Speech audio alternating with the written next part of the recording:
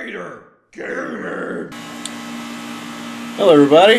I'm Xero. Welcome to XeroRaider Gaming. Because Raider did this because we didn't have videos um, a couple weeks ago, so I'm to do it because we don't have a video this week.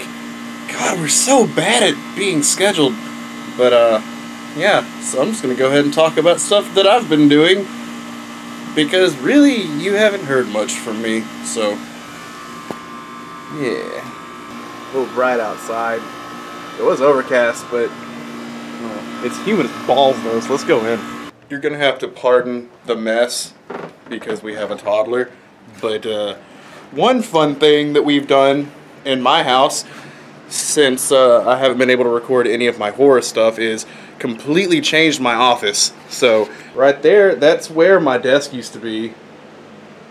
Now it turned into a music thing. This is now our bedroom. So the backdrop for whenever I get around to recording again will change in my house because we spent an entire day, my day off actually, uh, changing stuff around. This is my messy bed. I would say that's my Peppa Pig pillow. This is where I've been spending most of my time with this little bitty TV and my PlayStation. I've been playing Doom. Doom! And uh, Uncharted 4, both amazing games. If you haven't picked them up, pick them up. Also today I picked up Uncharted the Nathan Drake collection because I own all three of the games on PlayStation 3 and I have literally never played one of them. I started Drake's Fortune um, a couple days, no, I started Drake's Fortune a while back and then put it down and then picked it back up a couple days before 4 came out because 4 looks so good and clearly didn't get a chance to finish it. So I read the story on Wikipedia for all three games and then picked up 4 and I like 4 so much that I want to go back and play the other three, but I am so spoiled with the PS4 that I'd rather play them on that. So that's why I did that. But that is literally all I've been doing with my time is just uh, working. Uh, I'm working for Sonic now. and uh, Stinky and playing Doom and Uncharted um, and moving things. You guys can look at my rats. Hello, my name is Dexter. Do you have treats for me? Do you have a treat for me? Maybe. They're so fat. Look at how fat he is.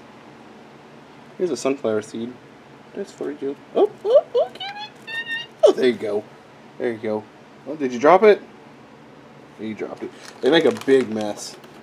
My house is usually not this messy, but I decided to shoot a vlog and we haven't cleaned yet. Whoop, there you go.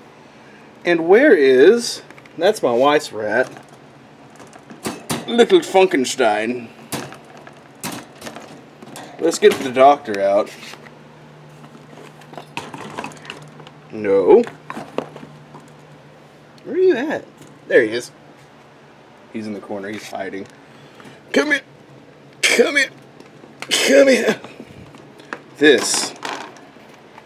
He earned his PhD at Harvard for uh, Funkonomics. His name is Dr. Funkenstein. He's the littlest rat. Oh, and he can do a sweet backflip. Oh, and he decided not to go back in his cage. Dr. Funkenstein, would you like a seed? Yeah, come here. Come here. That's for you. Don't steal it. They like to fight. You might have heard them fighting in uh, some of our videos. Oh, you dropped it. Oh, you dropped it. But they like to wrestle. I feel like rats get a uh, pretty bad rap for being disease-ridden filth animals, but I like them. They're cute. I'm gonna take a bath? I'm taking a bath. I'm taking a bath.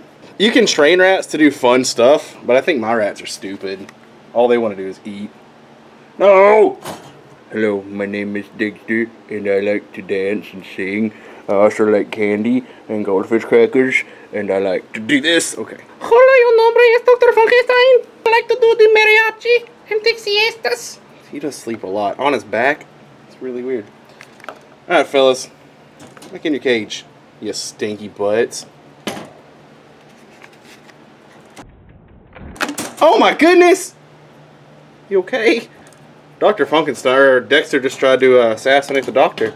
I kind of feel bad because I woke him up just to do all that, but I'm like their god, so it's okay. I guess now we'll take a gander at what my new room will look like, and again, it's really messy.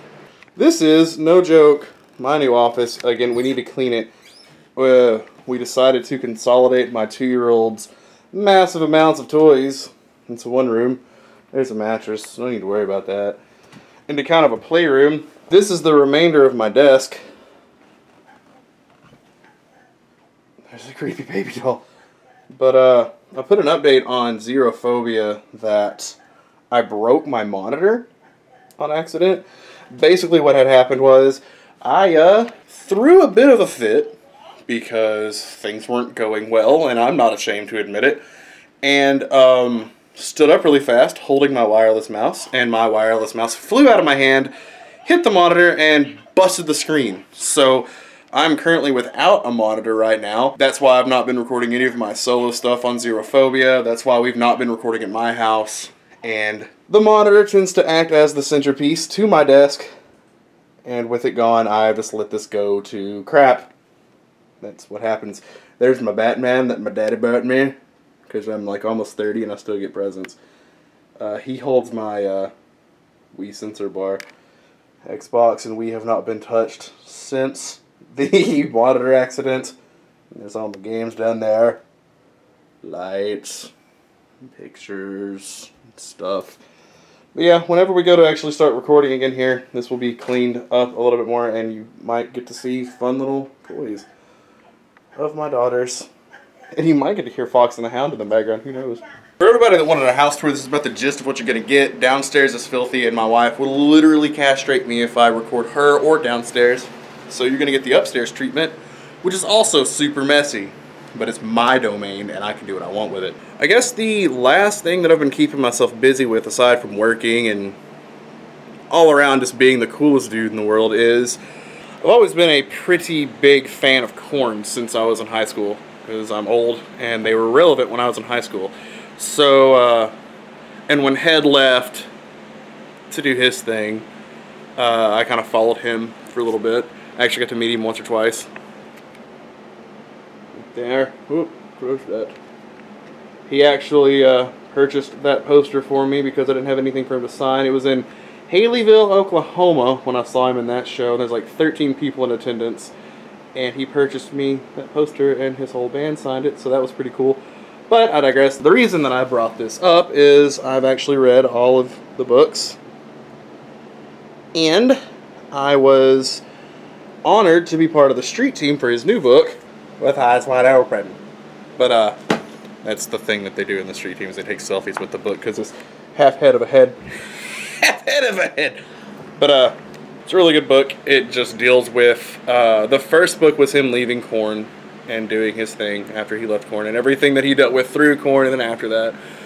And then the second book kind of deals with everything after the first book because that's how chronologically things go. But um, everything with him being done with Korn and then starting a solo thing and then going back to Korn and all that happy stuff. Really good book. Um, if you're not religious, it's still a good book. If you're a fan of them or not a fan of them, it's still a good book because he just deals with normal life problems that everybody deals with. Not everybody, but you know, people deal with things. They have their ups and downs, and he's a really inspirational guy. And again, religious or not, uh, he has something that people should hear if they're dealing with bad stuff. Uh, you know, being broke, being uh, being a single dad. I'm not a single dad, fortunately, but being a single father and like dealing with like raising a teenager and all that stuff. Uh, you know, trials and tribulations kind of thing. So it's a really good book. And again, religious or not religious, fan of Korn, not a fan of Korn, anything like that. It's just a good book to read just to make you feel good about stuff. So I highly recommend that. Um, and if you haven't read his first book, definitely pick that up. If you are younger or have younger people, because the first book does deal with a lot of hardcore issues, he did release this, which is essentially the first book, but kind of watered down for younger people. But uh, yeah, definitely. This book is out now, clearly, so I recommend you pick it up. It's just a good book, really well written, and in, for me, being being a faithful person and being a huge fan of Korn and him in general, um, it's really nice to see like an insight in, in, in a pretty big rock star's life who makes a pretty big jump into things, and uh, you know, listening to how he deals with that stuff. So it's really good, really well written, and uh, helped me through a lot of lot of stuff. Uh, him, he himself has helped me through a lot of stuff just throughout my life, being like an angsty teenager to an angsty twenty something, through like you know losing my daughter to like now like just you know flat broke and all that happy stuff and having to deal with that and yada blah. So that's about it. That's all I've been doing. I've been reading, moving furniture, and uh, killing demons and finding treasure. So yeah, this is again because I'm gonna lay down. we uh, were unable to record anything for this week because I started a new job and Raider has had a lot of stuff that he's been doing with his LARPing because he's a nerd. We're both nerds, but uh, yeah. Figured I would talk to everybody because Raider did it last time and now it's my turn. I was going to tell you guys a story about the Fit for a King show that I went to for my birthday, but I think Raider did that, so, you know, whatever.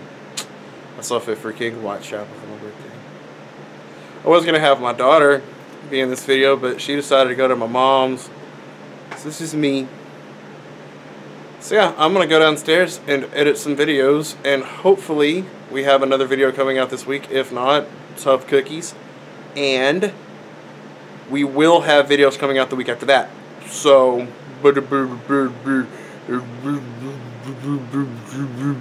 don't know how to end vlogs. If you like this video, give us a huge thumbs up, share our video around, subscribe to our channel if you haven't already, subscribe to Xerophobia, my wife's channel, Wing It Like Washam, uh, Zerator TV, which we do have skits planned for that. I look really weird laying down like an Asian. Uh, yeah, we do have more skits planned out for that, but we just haven't gotten around to doing them yet. And uh, yeah, subscribe to all that, share us around. Teeblox code still in effect. In the description, comment, blah blah blah, blah blah blah. Let's look at my guitar. Ooh, goodbye.